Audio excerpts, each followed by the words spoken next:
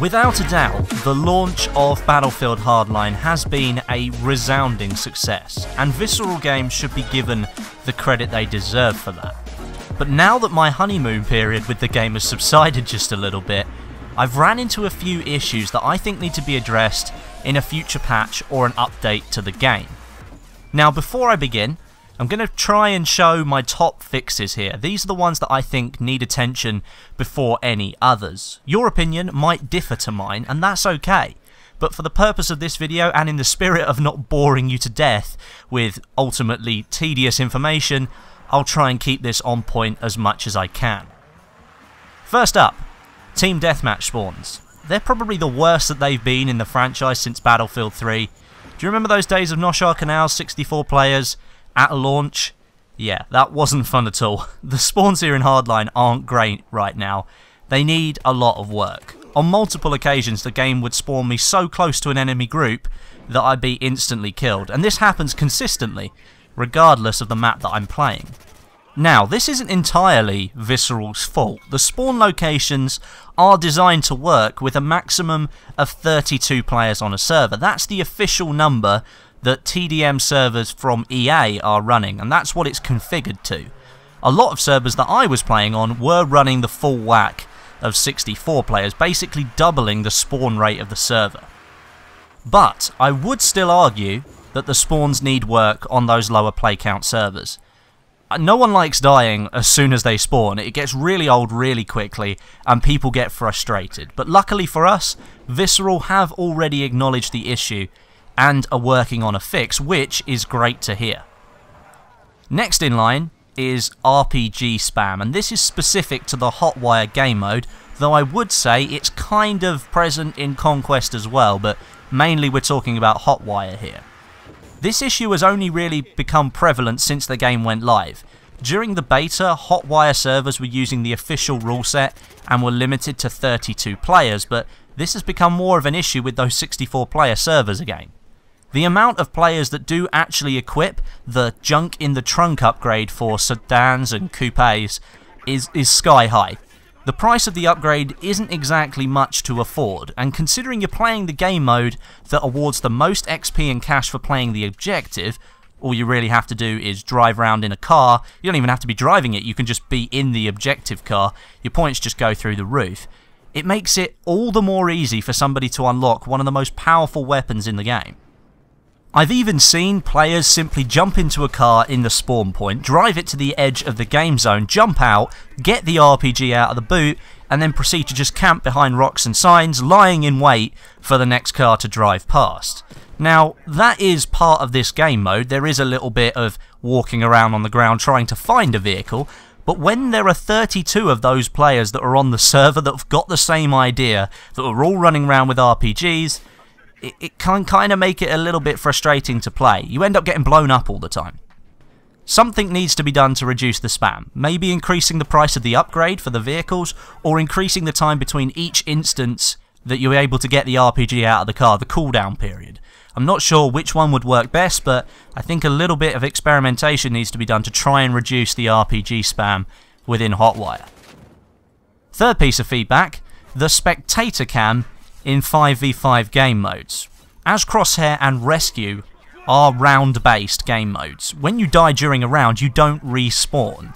As you'd expect, Visceral has built in a spectator camera for the time that you're dead to the time that you go back to the spawn screen so that you can watch your team try and win.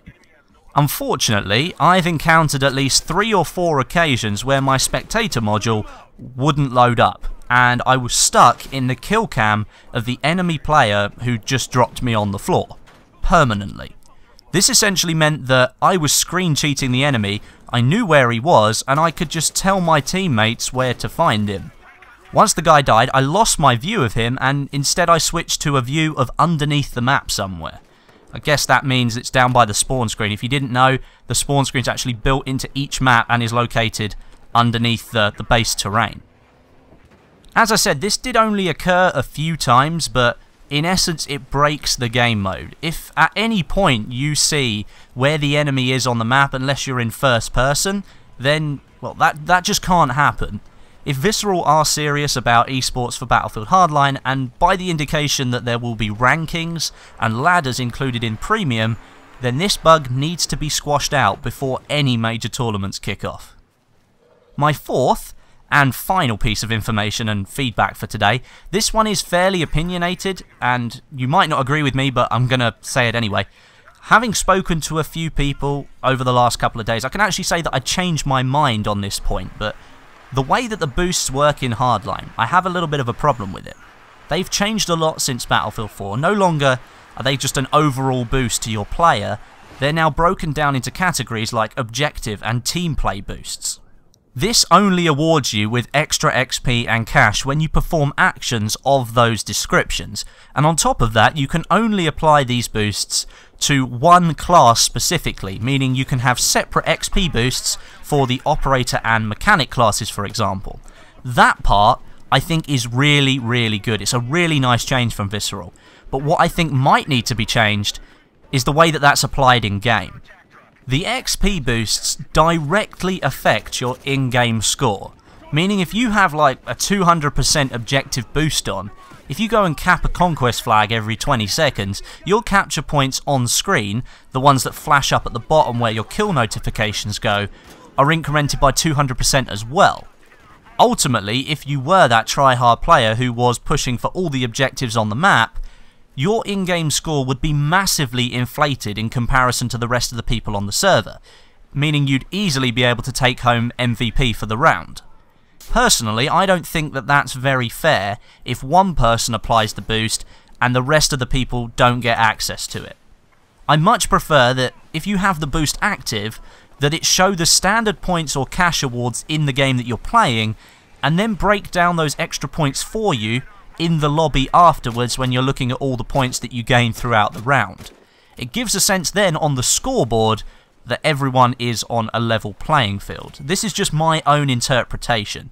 I don't really think it's right that somebody should be able to dominate a server just because they've got a 200% XP boost. I mean, you need to let me know what you think as well, guys, because that's kind of an opinionated point right there. But there we go. That's what I think that Visceral need to focus on within their first patch for Battlefield Hardline. Now, there are lots of other things that I'm sure you guys have experienced so far, little niggles and little tweaks that you think might be effective in an upcoming patch. So I want to make sure that you're leaving comments down below today, because I'm hoping that the developers are going to see this video and they might be able to act on some of our feedback. So do leave comments today, that'd be great. But that is the end of the video today, guys, so thank you very much for watching. If you could leave me a thumbs up, that'd be absolutely fantastic.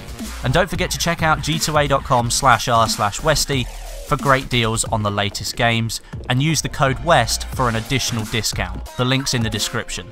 But until next time, my name is Westie, and I'll catch you guys in the next video.